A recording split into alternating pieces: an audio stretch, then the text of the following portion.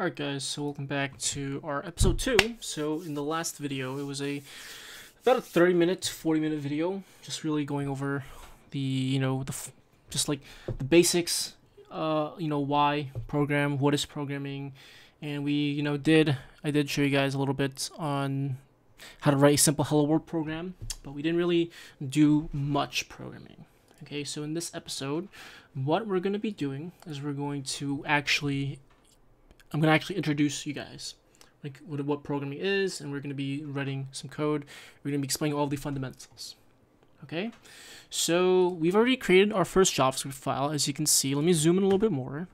You can see we have program1.js, and I covered that if we want to display messages to the console, we can just say console.log hello world. Now, I know this stuff might be a little bit confusing, but typically, you know, when it comes to learning programming, the first thing that you learn to do is just outputting stuff to the console or outputting stuff to the, you know, yeah, the console, that's what it's called. But don't worry so much about if you don't know what, you know, log means. All just know that all this does right now is just displays messages or, you know, displays, you know, uh, output to the console, okay?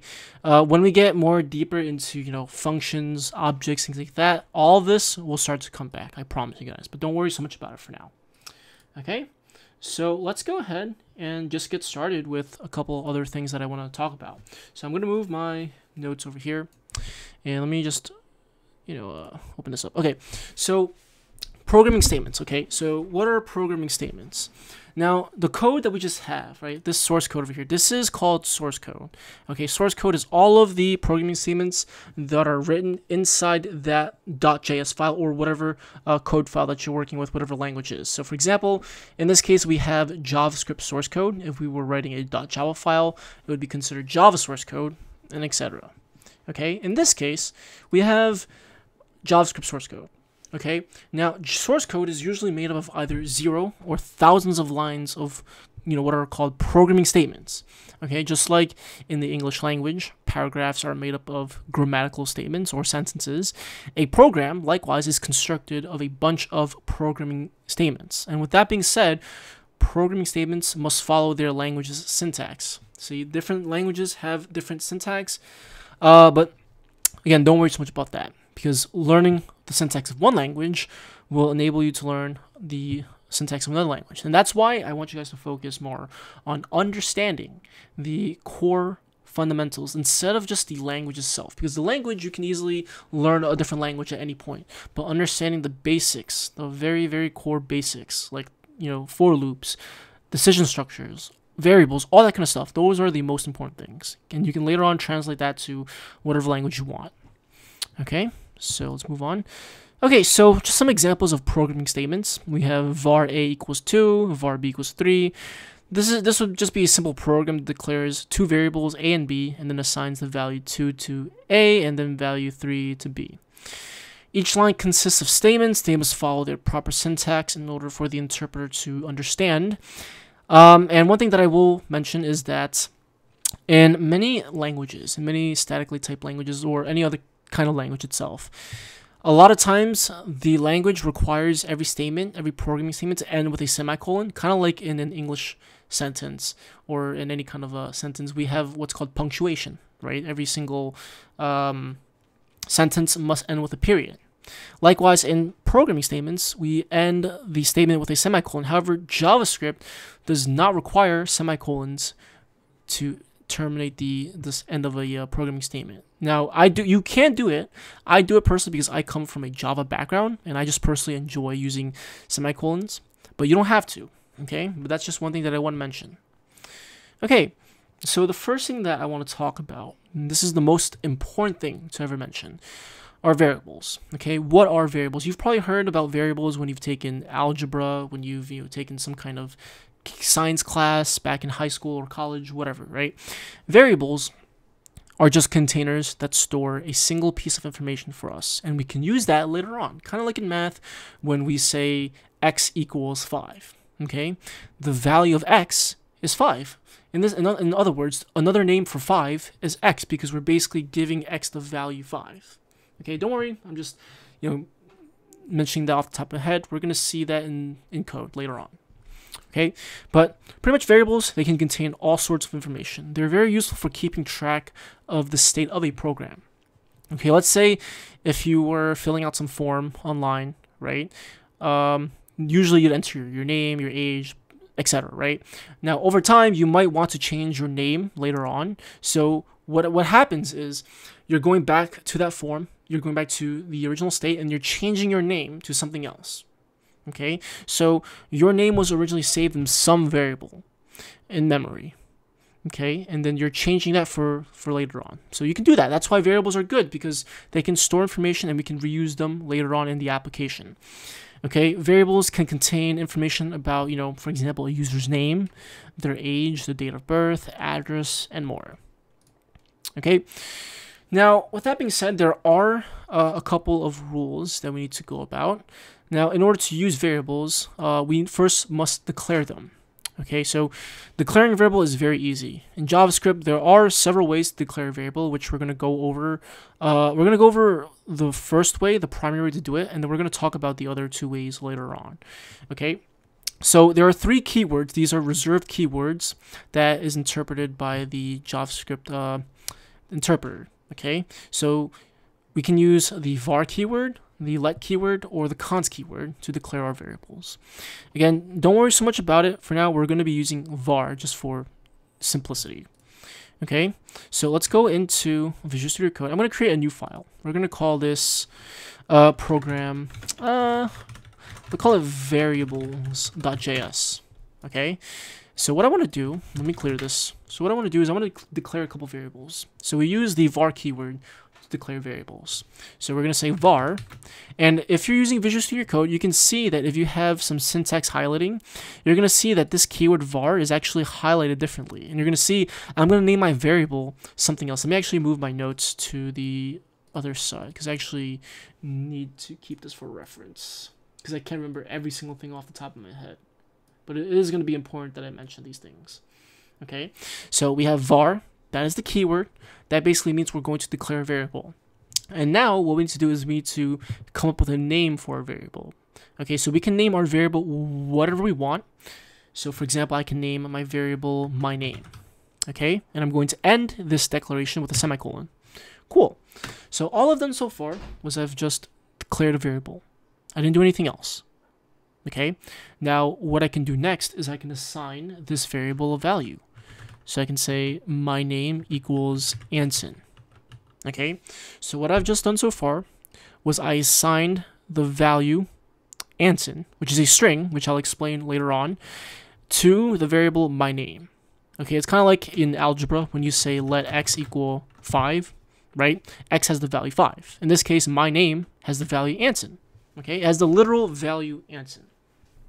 Okay, I can also declare a variable like this, my age, and I can assign it a value on the same line. So it can save up lines of code. So for example, var my age equals 20. An example like that. In this case, my age has the literal value, or rather variable value, 20. Okay, we assign the literal 20, which is a numeric value, to my age. Okay, now that's pretty cool. And there are a couple of rules when it comes to declaring variables. Okay, and let's go over those rules. So, although you can name your variables whatever you want, there are some things, there are some symbols that you cannot use, and there are some declaration rules. Okay, so variable names cannot contain spaces. For example, if I did my space name, you're going to see that this would be a syntax error, and it's going to say, it's going to, on Visual Studio Code, it's going to highlight this. Okay, you're going to see that this is an error over here. Okay, we cannot have spaces in your variable names. Uh, variable names, uh, they must begin with either a letter, so A to Z, or you know capital A, whatever. Uh, it can either begin with a dollar sign or an underscore, like this. So for example, my name or my underscore name. I can do that as well. That would be a valid variable declaration. Or I can do dollar sign underscore my underscore name. But I can't do something like at. That would be invalid. I can't do percentage, okay? I can't do ampersand. I can't do asterisk. I can't do those things, okay?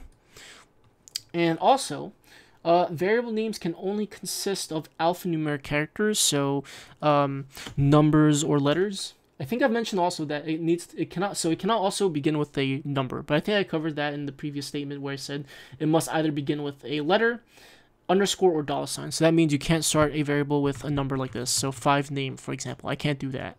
Okay, I can do name five, right? So yeah, so variable names can only consist of alphanumeric characters, so that's letters or numbers.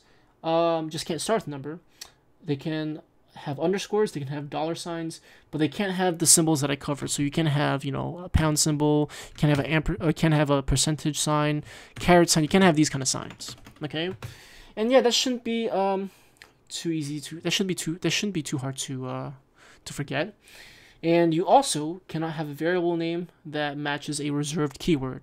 Now, we will go over reserved keywords later on in this whole tutorial series, but pretty much reserved keywords are things like var. var is a reserved keyword. It basically has significance, has some kind of significant meaning that is to be used for something else. So for example, var is a reserved keyword that's used to declare variables. Same thing with let.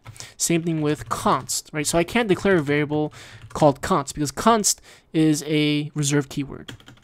Okay, likewise, if is also a reserved keyword um, for uh, conditional statements. Same thing with switch. Again, I'll list these out later on, but don't worry about that for now. Okay, cool. All right, so um, other things to mention about variable names. Variable names are case sensitive. So for example, if I declare var my name equals Anson, this is different than var my name Anson. They're case sensitive. They have two different things. Actually, let me change to something else. Let me change this to John. So if I want to log these variables to the console, I can just pass in that variable value into the parentheses, right, like this. Likewise for my name, like this. And if I save it and let's run our program, let's run variables.js, and you're going to see Anson John. Okay, it logged the value of the variable rather than the actual variable my name itself like the you know what i mean okay so again they're case sensitive okay um, another thing that i want to mention is typically when we name variables we follow uh, certain casing conventions so for example the most popular one used in a lot of different languages is camel case and what that means is basically the first letter of the first word of the variable name is lowercase, and then every first letter for each word after is capitalized. So obviously you probably forgot what I, you probably don't understand what I mean. Let me show you. So let's say, for example, if I wanted a variable to keep track of the total amount of miles driven for a car, so we can say var, we can we can declare we can declare like this. We can say var total miles driven like that. Right now, that kind of looks a little bit ugly because you have three different words, and you know it just looks kind of ugly. Let's change that up a little bit. So following camel case, the first word, the letter, the first letter of the first word is lowercase. So in this case, T is lowercase, and everything else is also lowercase too. Okay, and every other word's first letter is capitalized. So in this case, mile is the next word, so we're gonna capitalize M. Same thing with driven, we're gonna capitalize D, and you're gonna see that it actually looks much more better, in my opinion. I mean, you might not see it, but I figured, you know, showing this to you very early on would definitely catch your eye and you're going to get used to it. It's a very common practice that a lot of people do. And in the real world, it's always about writing readable code that other people can understand as well. You might understand it, but if you're working in a team-based environment, other people are going to need to be able to interpret your code. And if you write really bad code, you're going to get criticized for it. So it's important that you learn these very, very, very important practices right now. Okay, and we can assign this the value of 50 uh, 520. Okay, and we can log it to the console. And we can just go ahead and say node variables.js 520. There you go. Very, very straightforward camel. case. This is called camel case, by the way. Okay. And likewise, a couple more examples. Let's say we want to store the first name. I can say first, so F is going to be lowercase. And then N for name is going to be capitalized. I can say Anson. I can say uh, var total hours slept equals 8, as usual. var total distance driven, let's just say, um, Mm, let's say 20. Well, let's say in miles. So in miles equals 20. I think you guys get the idea. It's very, very straightforward. So definitely when you are practicing writing your code, you definitely want to make sure you are practicing these conventions. Okay, they might seem like very little things, but trust me, these little things make a huge difference. Okay, so a couple things that I want to mention. I think I may have mentioned them already, but I'll just go over just in case. So common practices. So name your variable something that will help you recall what it represents. Okay, so let's say for example, if you need to store a user's favorite color, the best thing to do is name a variable after that, right? So it wouldn't make sense for me to declare a variable called uh, favorite food and only for that variable to represent my favorite color, blue. It wouldn't make sense because later on when you when your application grows, you're gonna have probably a bunch of different variables or properties or fields when we get to objects, and you're just going to be very confused. Like, why is blue my favorite food? That makes no sense. So let's name it something like favorite color. Something like that. That works perfectly. Okay? And again, use camel casing all the time. For example, I showed this example earlier in the, in the text editor. And also, one thing that I should mention is variable names that are all capitalized typically are used for constants. So let's talk about constants real quick. Okay, so let's say, for example, if you want a variable that you don't want to change over time the program, because right now, all these variables, we can change the value of it at any point in the program whenever we want. So right now, if I go ahead and say my name, okay, so what I'm going to do here is I'm going to concatenate this string, my name, uh, and I, I know I haven't explained string yet, but don't worry, I will do that in the in when we get to data types. But what I'm going to do is I'm going to concatenate this string, this string literal, with the variable first name, and you're going to see in the console, it's going to go ahead and say my name Anson. I should say my name is Anson.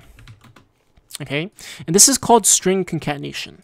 What I'm doing here is I'm concatenating the literal value, right? A literal value, I'll, which I'll get to that in the next slide.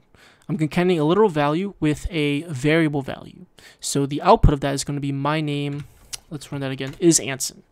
Okay, now let's say, for example, if I want to change my name, let's say if we are on a social media application and we wish to change our first name, I can say first name equals Jack. Okay, and I can go ahead and say, now my name is first name. And if I run this program again, it's going to say, now my, my name is Anson, now my name is Jack. Now, what if we wanted to have some variable that we that we don't want changing over time? Okay, so what we could do is we can declare that variable as a constant. So let's get rid of all this. Let's just say const my first name equals Anson.